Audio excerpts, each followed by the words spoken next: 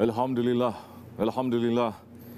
Alhamdulillahi Rabbil Alameen, wa salatu wa salamu ala Rasulina Muhammadin wa ala alihi wa sahbihi ajma'in.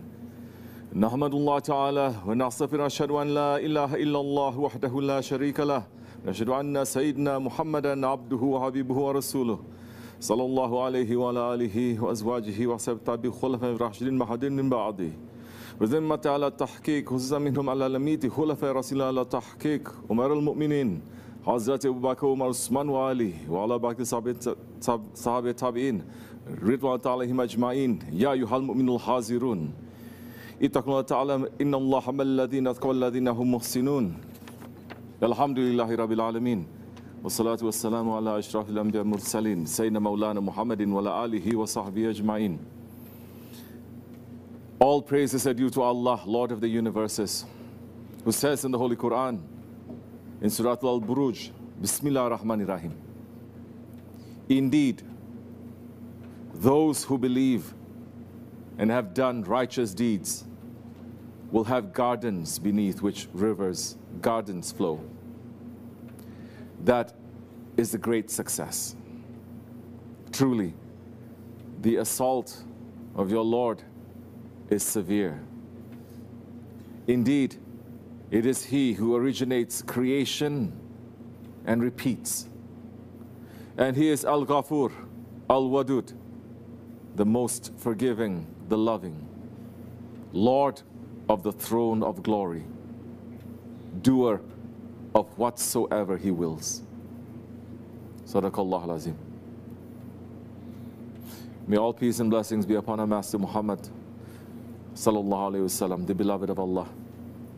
Holy Prophet wasallam said, Send many salawats upon me on Friday, because when a person sends salawat upon me on Jummah, they are presented to me immediately. Allahumma salli ala Sayyidina Muhammadin Nabil Ummi wa ala alihi wa sahbihi wa Sallim, May peace and blessings be upon him and upon his noble family and upon his blessed companions especially upon the four Khulafa Rashidin, Siddiq al-Akbar, Faruq al-Azam, Zul Nurayn and Shahi Merdan and all those who follow them until the last day. May peace and blessings be upon the inheritors of Rasulullah, the Naqshbandi Grand Sheikhs, May peace and blessings be upon the Ottoman sultans, the heroes of Islam. May Allah love those who love them. May Allah curse those who hate them. May Allah return their rights to them soon.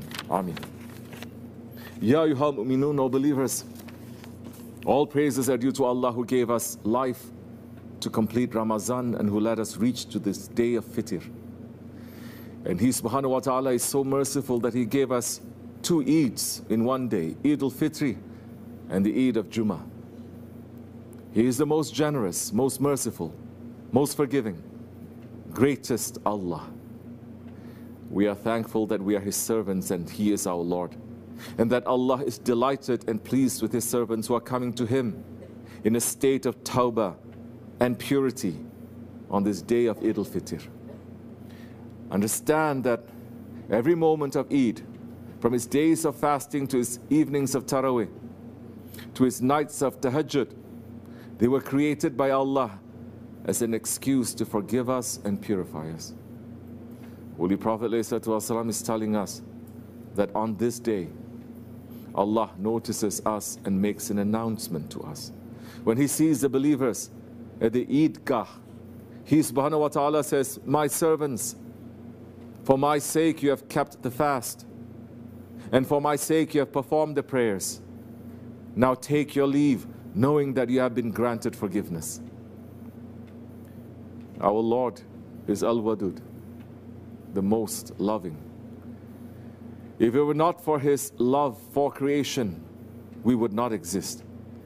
And He loves us and He becomes happy when we return to Him. In a very, very beautiful hadith expressing the degree of happiness Allah feels when a servant comes back in Tawbah. Holy Prophet ﷺ said, Allah is more delighted at the tawbah of his servant than one of you who lost his riding animal on a journey in a barren land while it carries his food and drink. The man loses all hope as he comes to a tree to lie down in its shade, despairing over his animal. But suddenly he finds it standing over him. He takes hold of its reins, and then he greatly rejoices, saying, O Allah, you are my servant, and I am your Lord. He makes a mistake in his words due to his great joy. Ya Rabbi, we're returning to you in Tawbah. Accept our Tawbah and be pleased with us. We finished Ramadan, Alhamdulillah. We feel that our faith is strong in our hearts. Ramadan came and gave us treasures. How we will keep those treasures safe throughout the year so that they're not stolen by Shaitan and his allies. What will we hold on to? Holy Prophet asked the Sahabis, which handle of Islam is the most firm? They said, namaz. His, he والسلام, said, it is good, but that is not it. They said, zakat. He والسلام, said, it is good, but that is not it. They said, fasting the month of Ramadan. He والسلام, said, it is good, but that is not it. He said, they said, Hajj. He والسلام, said, it is good, but that is not it. They said, jihad. He والسلام, said, It is good, but that is not it. Verily, the most trustworthy handle of faith is to love and to hate for the sake of Allah. Who do we love? Who is in our hearts? Ramadan came to help us sweep our hearts clean from all the false idols and false loves that were in our hearts. So, who is there left in our hearts? Who should we love? Rasulullah said, Love Allah for the blessings by which He nourishes you. Love me for the love of Allah. And love the people of my house for the love of me. And Imam al Ghazali Qadasullah Sir is reporting that one of the awliya on his deathbed made this dua Ya Allah, you know that if I disobeyed you, I still loved those who obeyed you. Make that as a means of nearness to you. O believers, who did we put in our hearts? Who's living there? Who do we remember in our hearts? Who do you care about? Whose face do you see in your heart? Whose naqsh is in your heart? For us, the people of Tasawwuf, Alhamdulillah, the answer is simple. It must be our Shaykh. We love our Shaykh, who is from the Ahlul Bayt. For the love of the Holy Prophet, like Hazrat Dawood, we ask for the love of those that love Allah. And we know that the awliya are those that love Allah and Allah loves them. And like that awliya's last dua, we know that we are dirty, weak, sinful creatures, but we are running to love those that love Allah and whom Allah loves, His obedient ones who have reached the rank of Abdullah. That is our safety. Our Grand Sheikh Sultan al-Awliya Shaykh Maulana Muhammad Nazim Adil al-Haqqani, Qadasullah Sir is saying, Grand Sheikh Abdullah used to say, to be in the presence of loved ones is a great good fortune. This is a divine feast. And all those present have been invited from pre eternity when the souls were gathered in the divine presence to pledge their eternal worship and loyalty to their Lord. At that time, those who were destined to meet in love in this dunya were gathered near to one another. And it is for this reason that their hearts are drawn together in this world. My work and the work of all those who are on my level is to make you believe. This is the task of the sheikhs. It is not possible to believe in something without believing in someone. Because in order to listen, the heart must be open. Whoever listens believes in someone and believes that this person can teach him what he cannot know, see, reach, or be by himself. Such belief brings you the love of the one to whom you are listening. By believing, you learn how to love. By believing, you learn how to obey.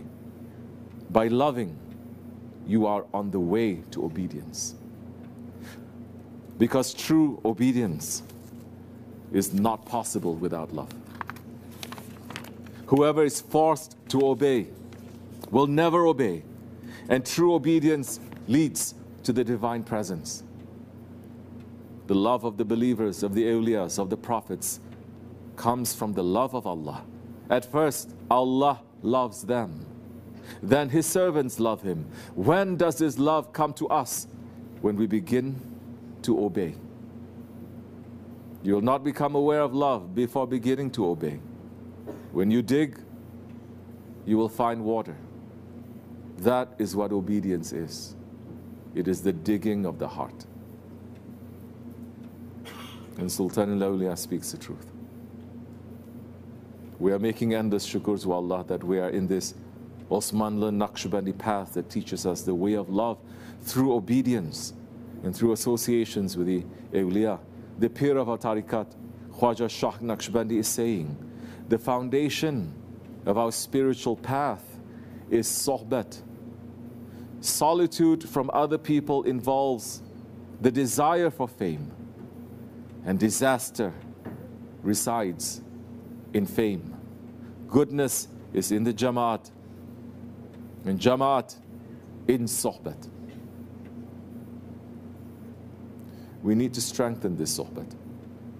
We need to strengthen this Jamaat. In this Eid day, if we are fighting with anyone or cutting ourselves off from anyone, we need to end that. Of course, this does not apply to those that are attacking or doing evil to other believers non-stop. But for believers who are in the same Jamaat, following the same Shaykh, we must be forgiving each other. O believers, today is the day of making peace between each other. Rasulullah said, It is not lawful for a Muslim to boycott another Muslim for longer than three nights. Verily, they are both running away from the truth as long as they are divided. The first of them to fix things will have his sin forgiven because he is the first one trying to fix it.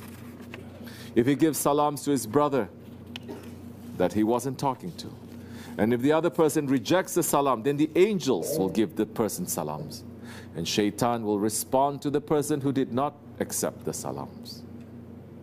If they both die while they are divided, they will never enter paradise together. The awliya are telling us to walk in the path of Rasulullah And the path of Rasulullah is for us to love each other. Our master Sahib Sayyid Sheikh Abdul Karim al-Kibrisi ar-Rabbani is saying, when we learn how to love each other, then we will be able to reach to Allah. Holy Prophet ﷺ is teaching that anyone who says La ilaha illallah and they believe they are entering into paradise. That means that one has a faith. He says, however, he says, but if you don't love each other, if you don't learn how to love each other, even if you are saying that word, La ilaha illallah, you are not really reaching to the main roots of the faith. So we need to learn each other here. We need to love the ones Holy Prophet loves. We need we have to love the ones our Shaykh loves. And our Shaykh is running to help other people. We have to love them and we have to do the work to reach to them and to be of service to them. That time, the life we are living in this world is a reflection of what we are hoping to see on Judgment Day.